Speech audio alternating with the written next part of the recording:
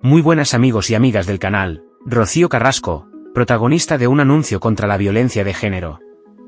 El marido de Kiko Hernández ha producido un spot publicitario, en el que ha contado con la hija de Rocío Jurado y Lara Dibildos.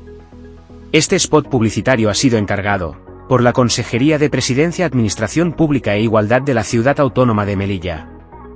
Lo que sí habrá que saber si Rocío Carrasco y las demás integrantes que participan en este spot publicitario, han cobrado algún dinero público, porque el spot pertenece a la comunidad autónoma de Melilla, por tanto es dinero público.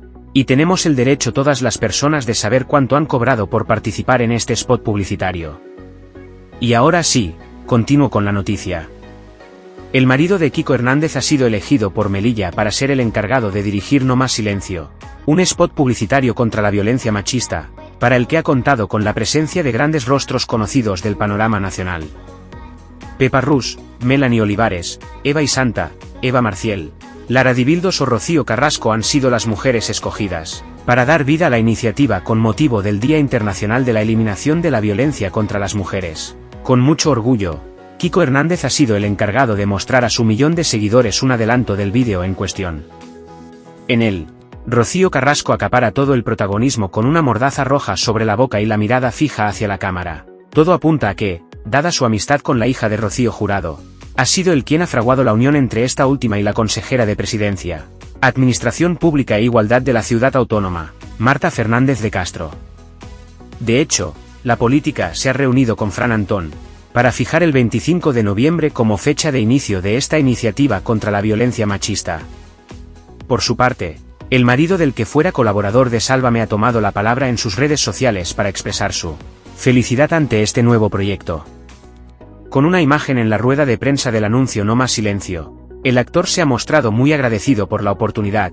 Nosotros hemos realizado un spot publicitario para denunciar la agresión sexual en diferentes ámbitos, dentro del trabajo, hogar, institutos o la noche, pronunciaba. En sus planes también está el de reproducir microescenas de agresión por las calles de Melilla con la ayuda de las féminas mencionadas anteriormente, para producir una mayor concienciación entre la gente. De esta manera, Kiko ha dejado aún más constancia si cabe de que su relación con Rocío Carrasco sigue siendo igual de buena que el primer día. La emisión de Rocío, Contar la verdad para seguir viva en Telecinco hizo que entre la ex de Antonio David Flores y el tertuliano se fraguara una amistad aparentemente indestructible.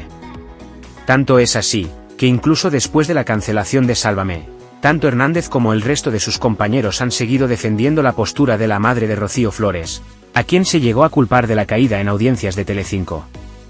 El fin del que fuera el programa de las tardes de la cadena de Fuencarral, provocó el distanciamiento de Rocío Carrasco y el resto de colaboradores. Pero solo en la pequeña pantalla. A través de redes sociales, todos ellos han demostrado que su vínculo sigue siendo muy estrecho y que, siempre que sus agendas se lo permiten, organizan planes de ocio en los que recuperan el tiempo perdido. Como siempre te invito a que comentes esta noticia, pero antes recuerda suscribirte, para no perderte más vídeos como este, nos vemos en el próximo vídeo y muchas gracias por estar ahí.